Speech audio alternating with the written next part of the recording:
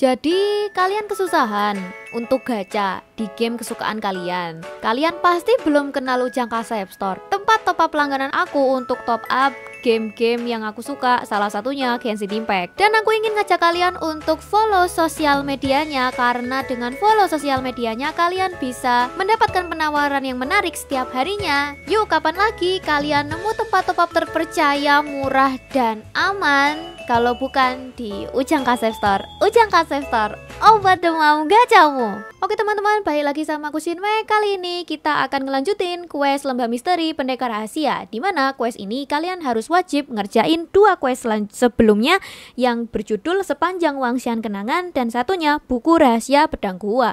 Kalian bisa cek link di atas sini atau di deskripsi untuk quest lengkapnya teman-teman. Dan kita langsung aja ikutin targetnya. Quest ini kita bisa buka teleport waypoint yang terakhir yaitu ke 29 dan kita di sini uh, bakalan dapat achievement untuk buka semua teleport waypointnya teman-teman.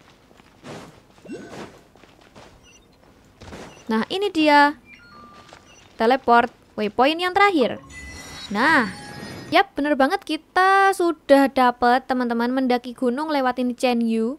Dan kita lanjut aja untuk questnya.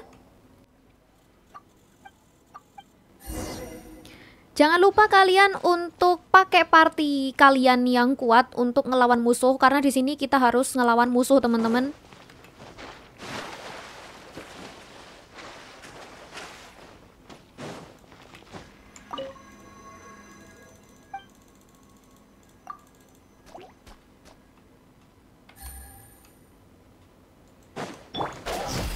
Nah, jangan lupa kalian harus uh, ngedodge untuk biar nggak kena sabetan. Nah, jadi kalau ada merah-merah kayak gini teman-teman, kalian harus ngehindar atau ngedodge. Kena pun sebenarnya nggak apa-apa, tinggal ngeheal atau uh, kalau mati ya hidupin karakter kalian. Cuman hati-hati aja karena dia ngedamage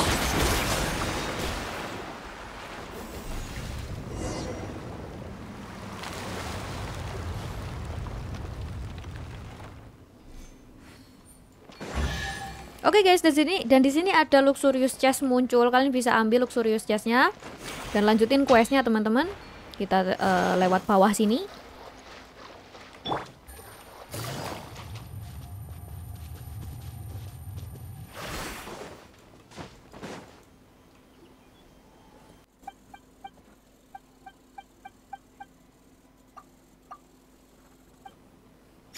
Oke okay guys, dan quest ini akhirnya sudah selesai dan kita dapat satu resep baru, resep gua fish dan lime salt.